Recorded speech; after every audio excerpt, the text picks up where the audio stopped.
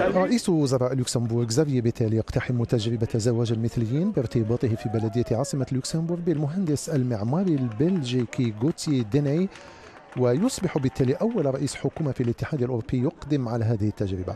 وعبر رئيس الحكومة عن سعادته بهذا الارتباط أمام الجمهور الذي تجمع عند مدخل البلدية باللغة الفرنسية واللغة المحلية رسميتين في بلده وقال أتمنى أن يكون كل واحد منكم سعيدا مثلما أنا سعيد. شكرا لأهل لوكسمبورغ. رئيس الوزراء البلجيكي شارل ميشيل كان من بين المدعوين لهذا الحفل وقال الرسالة التي أريد توجيهها اليوم هي رسالة ارتياح وغبطة وتهاني وتمنيات بسعادة كبيرة. ستيفان بيرن الصحفي الفرنسي صديق رئيس وزراء لوكسمبورغ حضر هذه المراسم وقال بدوره بما أنه رئيس وزراء إن هذه المناسبة رسالة للآخرين لا سيما في هذا الزمن الذي يتنامى فيه العداء لمثلي الجنس في بعض البلدان الأوروبية. برلمان لوكسمبورغ أجاز زواج المثليين قبل عام رغم معارضة شرائع واسعة من المواطنين.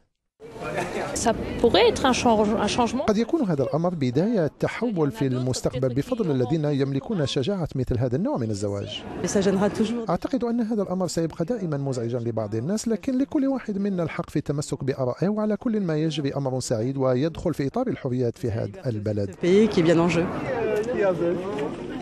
يتوقع أن تجيز أيرلندا الأسبوع المقبل الزواج بين مثلي الجنس عبر استفتاء وطني لتصبح البلد الثامن عشر في أوروبا الذي يسمح بهذا النوع من الزواج.